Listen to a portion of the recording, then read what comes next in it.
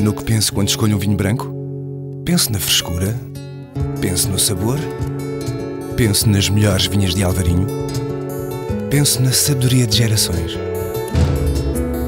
penso na origem, penso na qualidade reconhecida, penso na partilha e em momentos únicos. Pensando bem, brancos são a Veleda. Há 140 anos a criar brancos únicos.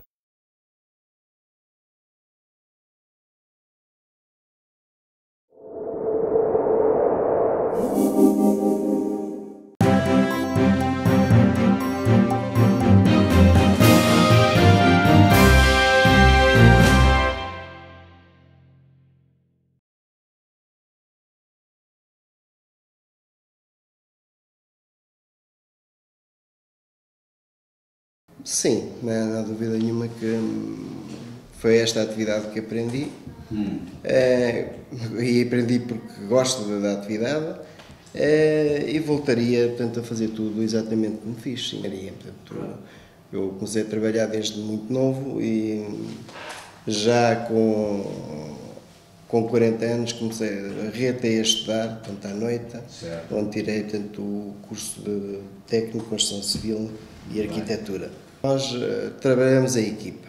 Uh, lógico que eu percebo tanto os projetos, domino completamente o que é projeto e o que é técnica de construção civil, desde as das técnicas mais, mais avançadas. Mas como trabalhamos em equipa, nós temos diretores, uhum. uh, temos departamentos que, que funcionam tanto autónomos e que fazem os seus estudos, apresentam e apenas a última palavra pode ser minha. Uh, e dou os meus conselhos, as minhas opiniões. Não, é uma boa aposta. A França é uma boa aposta. A França tem muito para dar uh, aos portugueses e a empresas como, como a nossa. Uhum. Agora, não é para quem chega à França, não é um percurso fácil chegar à França com, com uma porrada de equipas, uma porrada de homens, arranjar logística, arranjar financiamentos, ter, portanto, ou ter fundo de maneio próprio para pôr isto tudo a trabalhar, não é fácil, há muitos entraves, não é? Eh, as, as empresas não nos conhecem, é lógico que haja alguma empatia, mas é um bom mercado, não é um mercado para ganhar muito dinheiro, daí de repente, à semelhança de, de outros mercados, mas é porque é um mercado maduro.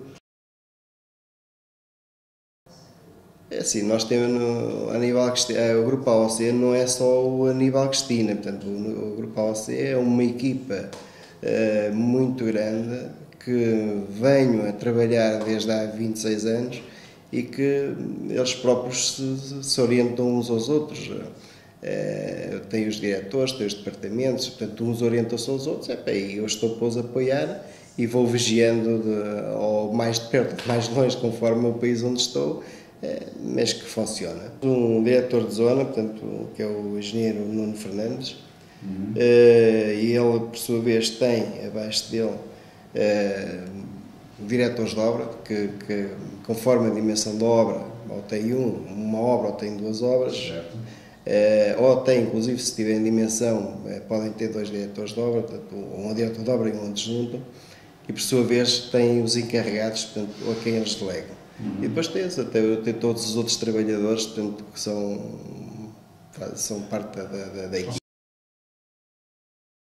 A minha personalidade é assim, embora portanto, sou uma pessoa calma por natureza e gosto de ambientes calmos, mas não quer dizer que não, não, não gosto que as coisas andem uh, em grande velocidade. Uh, o, a aparência muitas vezes pode enganar um pouco, porque as pessoas que estão à minha volta têm que trabalhar têm que ser responsáveis e têm que apresentar os, os projetos e tudo o que lhe exijo na hora e...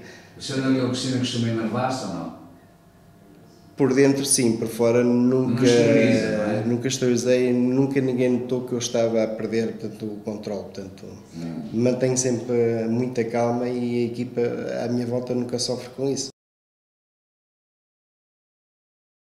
Portanto, em Portugal eh, há muito bons empresários e havia muito boas empresas. Contudo, cometeu-se um grande erro, a meu ver, portanto, que foi os bancos venderam muitas facilidades e alguns dos empresários com essas facilidades e como havia com, com a, a facilidade do banco também se ganhava dinheiro uhum. uh, investiram mais que aquilo que podiam uh, e são levados para um problema que muitas vezes até nem é criado por eles uhum. Pode-se fazer um bom negócio ou podia-se fazer um bom investimento na área da construção civil apoiado pela banca aparentemente era rentável. O que é certo é que, com a falta de venda, o, imobiliário cai, portanto, o preço cai. E se, os empresários tinham que pagar à banca, é? Pois, uh, e a banca começa, começa-lhe a pôr a, a, faca portanto, ao pescoço, pá, e, não, e ficam asfixiados, não, não conseguem. Portanto, o sucesso da Aníbal Cristina neste, neste percurso e conseguir, portanto, manter estes anos e passar esta, esta crise que é grande e no, nosso, no setor da construção civil ainda é maior porque começou mais cedo e ainda não acabou, deveu-se que a Aníbal Cristina nunca se endividou. É fundo de maneira próprio.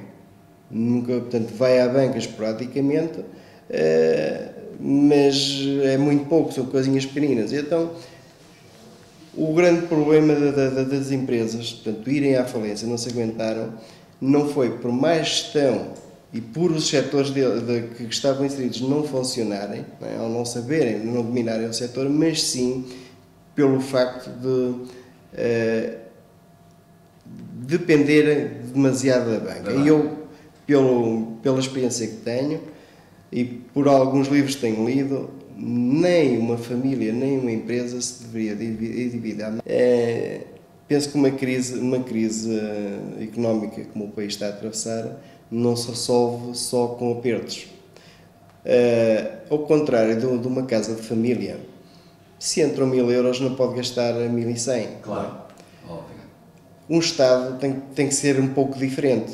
Uh, só, cria, só se consegue criar rendimento quando há investimento. Exatamente. Que do investimento ou de, é, do setor económico é que saem os impostos. Portanto, claro. se param, para, se, trabalhos, impostos, se param, exatamente, separam tanto uh, o setor económico como é que eles querem arrecadar impostos. Pois, é um bocado complicado. É Não há hipótese nenhuma. Há reformas, por exemplo, que, que deveriam, deveriam fazer, mas as, as melhores reformas que se fazem é numa altura em que a economia está boa, não é numa altura em que a economia está má. Vou dar um exemplo. O que é que interessa uh, estar a tirar, a dizer, bom, temos que apertar no, no funcionalismo público. E então despedem-se as pessoas no funcionalismo público. Mas elas vão cair no desemprego. Primeiro, embora o Estado vai-lhe continuar a pagar porque elas estão no desemprego, tem direito a desemprego, vai-lhe continuar a pagar, mas a pessoa, mesmo que esteja a receber o mesmo dinheiro no desemprego ou perto disso, não investe, logo, logo para a economia também. Claro. Enquanto estiverem empregados, mesmo que, esteja, que estejam tanto a mais, mas mais vale estar empregados, hum. que estão a contribuir para a economia. Nós continuamos à procura de consolidar os mercados, e quando eu falo consolidar os mercados, são três mercados que nós temos uh, estratégicos, portanto é Portugal que se vai manter, uh, está-se a manter e está, está a funcionar bem. Temos França, portanto, que temos que consolidar, e temos Moçambique para consolidar. São, são três, e para quê? Uh, para que, se houver uma crise num, de, num mercado, tenhamos sempre mais dois para apoiar. Para não acontecer o que aconteceu em anos transatos, ter só o mercado de Portugal e de repente Ficam uh, no espaço e depois de repente alguma coisa muda, portanto pois. mudou quando mudou o governo e nós tínhamos 60 milhões de euros de contratos e ficamos sem eles de repente, não é? Exatamente. Com garantias bancárias e tudo lá. Uh, para isso não acontecer, portanto, vamos fazer um trio, portanto, Moçambique, França e Portugal, uhum. e nestes vamos, portanto, apostar fortemente. Muito, muito bem. Esporadicamente, há outros projetos, que, que a gente podemos ir, eh, como, como estamos neste momento na Colômbia a fazer 80 mil, 80 mil metros quadrados de naves industriais, eh, mas que é fazer e vir embora, como estamos em Israel a fazer e vir embora, como tivemos na Suécia a fazer e vir embora. Portanto, mas são estes, obras pontuais. São pontuais, vai... agarrados a clientes que nos conhecem e que nós vamos. Portanto, Sou Carlos Matos, que é um português de referência e que penso que muitos portugueses o deviam de ouvir. Eu acho que hum, tanto qualquer português deve, deve hum, trabalhando em Portugal ou, ou no estrangeiro, como imigrante, uh, nunca deve baixar os braços.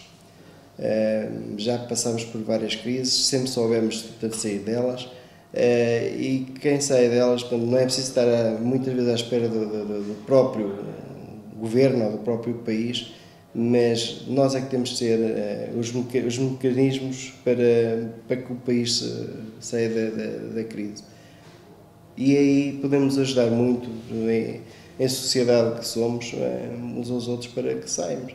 Agora, não se pode é estar, estar-nos a queixar que as coisas estão mal e deixar-nos estar no nosso, na nossa zona de conforto, que é muito bom estar na zona de conforto, mas é, não nos leva a lado nenhum. Portanto, temos que agir, temos que ir à procura, correr atrás. É, correr atrás Exatamente.